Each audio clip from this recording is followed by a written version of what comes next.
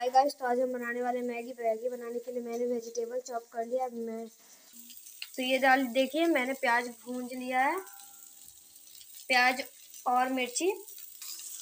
इसको light brown होने तक भूंज लेना है। ये मेरा लगभग लाइट ब्राउन हो गया है।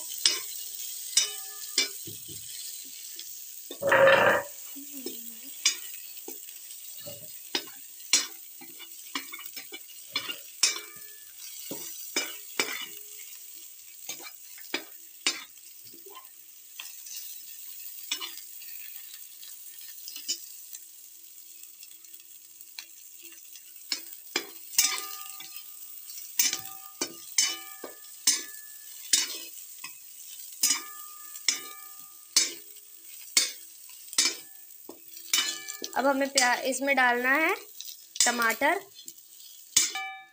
तो ये देखिए हमें टमाटर बारीक कट कर लिया है। अब हम इसे डालते हैं इसमें। तो ये देखिए, मैंने इसमें सारे टमाटर डाल दिया है। अब इसे दो मिनट तक पकने देंगे।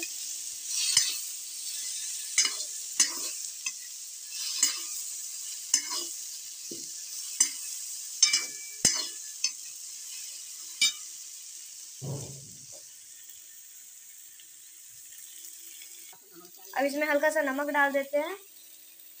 इससे टमाटर जल्दी गलेगा। अब इसे घाट लेना है।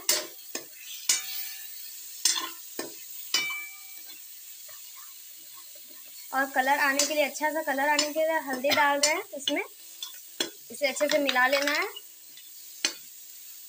अच्छे से भूंज के इसके बाद इसमें पानी डालना होगा। अब ये अच्छे से भुंजा गया है, इसमें पानी डालना है।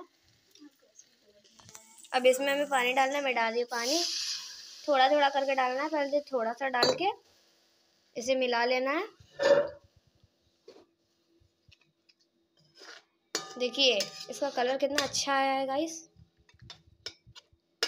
अब इसे दो मिनट छोड़ने के बाद पूरा अच्छे से पानी डाल के मिला के रख देना है। दो मिनट इसे रख देते हैं। ये टू मिनट्स हो गए अब इसमें हल्का और पानी डालना है। मैगी के अकॉर्डिंग मैं थोड़ा ज़्यादा डाल रही हूँ।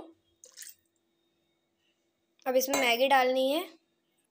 ये देखिए हमारी तीन पैकेट मैगी इसमें डालना है। मैं डाल के दिखा तो मैंने इसमें मैगी डाल लिया है।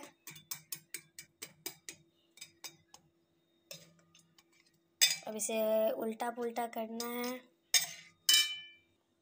तो ये देखिए, इसमें मैंने मैगी को चूर कर डाल दिया है। अब इसमें मैगी मसाला डालने की बारी है। तो चलिए डालते हैं। तो गाइस अब हमारी मैगी बॉईल हो रही है। देखिए, आप देख सकते हैं। यहाँ बबल भी हो रहा है। अब इसमें मैगी मसाला डाल देते हैं। ये तीनों पैकेट को आराम से मैं डाल देती हूँ। तो मैंने इसके बाद ये किया है जो मैंने अप, अपने अगल बगल में जो भी मसाला देखा सबको उठाया और डाल दिया। डालने के बाद मसाला इसको अच्छे से मिलाने का और पक जाने के बाद खाने का। और इसको बनने में फाइव मिनट्स लगेगा। तो ये देखिए इसमें बॉइलिंग आ रहा है बस अब इसे बनने में टू मिनट्स से। पूरा भाव भी निकल रही है आप देख सकते हैं। तो ये हमारी मैगी रेडी है। अब मैं इसे चली खाने।